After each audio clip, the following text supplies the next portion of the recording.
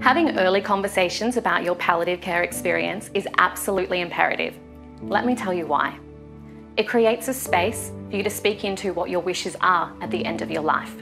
And by doing this, it alleviates any stress or worry the families might have because they know that they're following your wishes the best that they can. Having these conversations early gives you time, quality time with your family to tick off that bucket list, to create memories that are going to be here long after you are no longer. But finally, it allows the person that's dying to express any concerns or any fears that they may have, and it allows them to work with health professionals to implement a plan so their death can be how they want it to be. It's your choice, it's your right. From my experience, the hardest thing about having these conversations is knowing how to start them. So I'm going to share with you some really simple things that you can do to open up these conversations in your space.